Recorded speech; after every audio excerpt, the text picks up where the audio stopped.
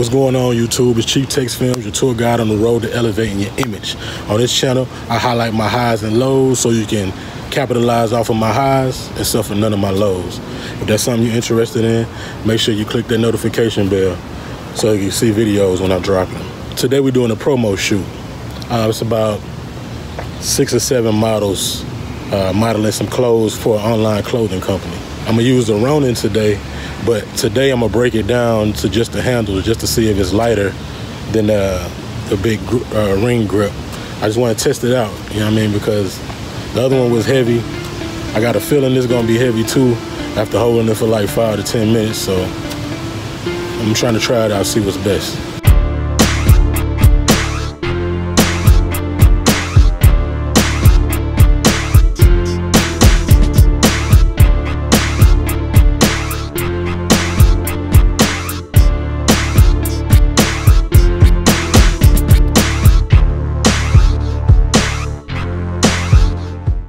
Okay, we're gonna start out with me setting up the gimbal.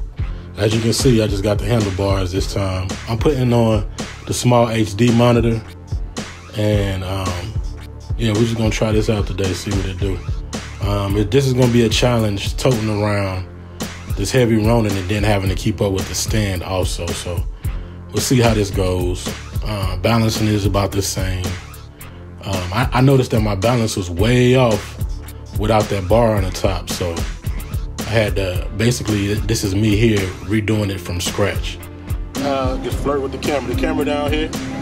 Um, so we're gonna start on this side, and then when I rotate around this way, whip, whip your hair and everything around to the other side. So, okay. so I'm gonna go. I'm gonna come. Yeah. Come here. I'll be uh-huh. facing that way. All right. All right. Looking at the camera. Looking at the camera. Yeah. As soon as I get my right hand, give me the hair whip.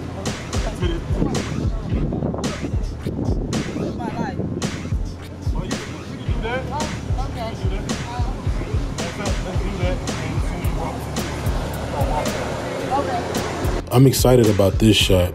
I use the Ronin for music videos, but this is one of the shots that I've always been wanting to get, but never been able to get. Even with uh, a Steadicam or a Glidecam, I couldn't get the, the lateral movement, the side to side movement, without any sway in the camera. So looking at this footage, I'm really excited about using the Ronin now, being that I can follow people and have steady footage.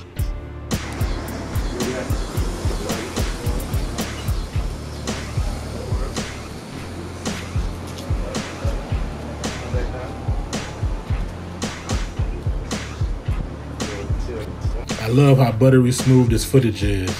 Coupled with the GH4 at 60 frames a second, this is amazing. Here you see me coaching a model. You know, a lot of times you have a beautiful woman that has never modeled before, so you have to coach her through the poses that you want her to do, and that's what I'm doing right now. It's just telling her what looks good through the lens. This is the movement that I that I did for the next shot. Look how buttery smooth this is. In the next couple of shots, I'm gonna show you what I've been dealing with prior to me getting the Ronin. This is me going handheld because I ran out of batteries on my SmallHD monitor and I couldn't see the camera.